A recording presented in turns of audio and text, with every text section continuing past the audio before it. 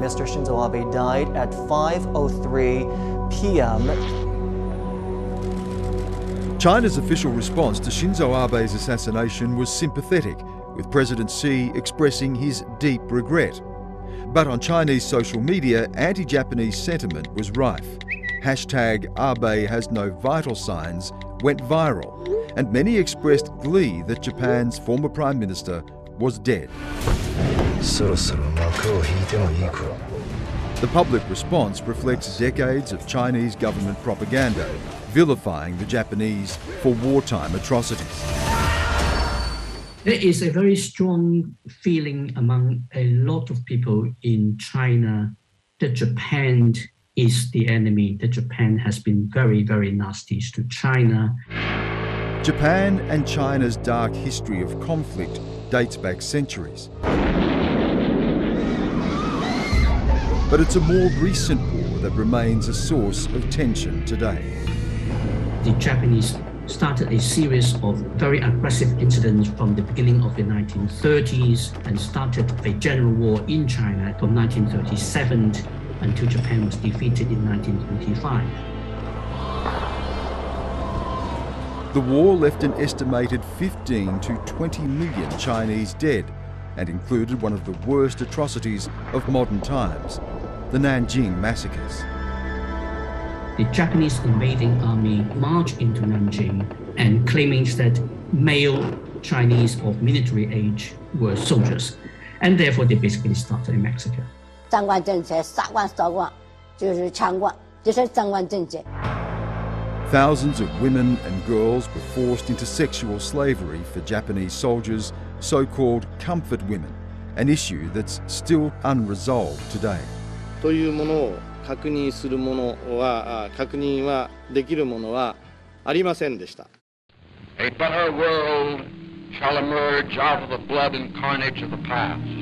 Japan finally surrendered after the US bombed the cities of Hiroshima and Nagasaki, bringing an end to World War II and the forced dismantling of Japan's military. Japan has tried very hard to make amends, and the previous government in China under Chiang Kai-shek make a point that China will forgive, though not forget about Japanese aggression with a view to develop friendship between China and Japan.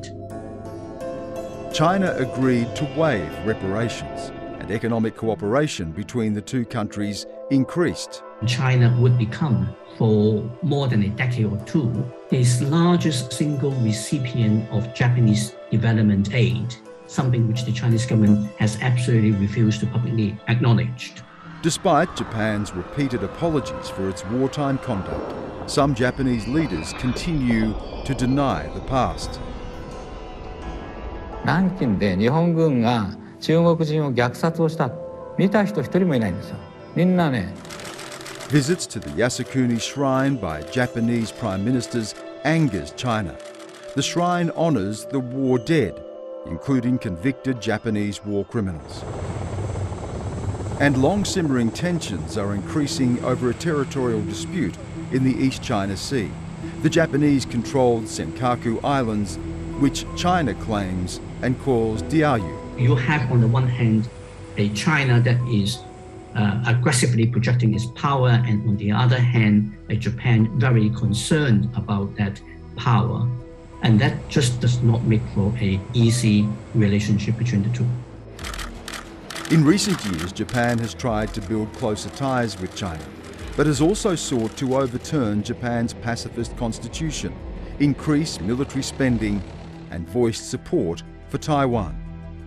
台湾への武力侵攻は地理的、空間的に必ず日本の国土に Japan became a, an extraordinary country uh, after the Second World War in accepting Article 9 of the Constitution, the so called peace clause.